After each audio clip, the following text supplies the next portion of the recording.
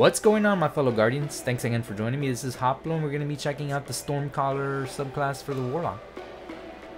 Seems pretty decent and I can't wait to use it. And it's going to make you sort of like Emperor Palpatine, you know? Arise and use the Dark Force. Anyways, let's check out the abilities, guys. Alright, first up we got the Pulse Grenade. This is a grenade that periodically damages enemies inside its explosion radius. This one seems like it's to be pretty cool. It's called the Storm Grenade. It's a grenade that calls down a focused lightning storm. And the final type of grenade is called the Arc Bolt Grenade. This is a grenade that chains bolts of lightnings to nearby enemies.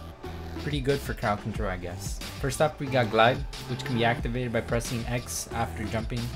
Next, we have Focus Control, which upgrades Glide for better directional control while in the air. Next, we have Focus Burst, which upgrades Glide to provide an initial boost of speed. The final type of jump we have is called Balance Glide. This one upgrades Glide to provide bonus to both speed and control.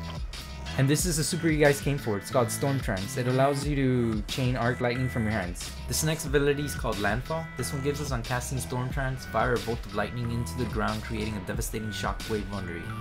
We next have Superconductor, which doubles your Storm Trance Lightning's chaining capabilities. And finally we have Ionic Blink, which lets us teleport during Storm Trance when we press R3. Next up we have Thunderstrike, which delivers an electrocuting arc melee strike at extended range. We next have Chain Lightning, which gives you your Thunderstrike chains to another nearby enemy. Next up we have Amplitude, which increases the range of your Thunderstrike. And finally we have Rising Storm, which gives us hits with Thunderstrike charge your super ability and your melee energy. Once again, our friend Claude Jerome didn't go over all the codexes, but um, this last one's called Arcane Force and it's training focus on toughness and speed.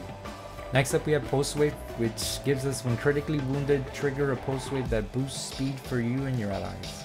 We then get Feedback, which gives us incoming melee attack speeds fully recharge and intensify your Thunder Strike. And finally we have Transcendence, which gives us when cast with full grenade and melee energy, Storm Trance restores your health to full and drains slower. This next codex is called Ancestral Order and it's training focus on all attributes. We then have Electrostatic Mind, which gives us Storm Trance charges faster when allies are near. When Storm Trance is active, nearby enemies take damage. Next up we have Arc Web, which gives us enemies damaged by your grenade chain deadly lightning to nearby enemies.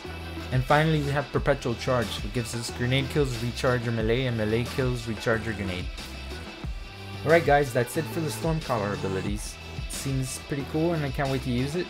And I'm having a hard time deciding which character I'm to actually start out playing the Taken King with. I'm stuck between all. You guys might be having the same dilemma.